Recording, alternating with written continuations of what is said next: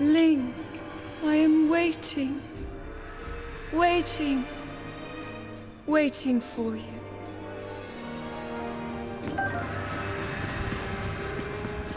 you.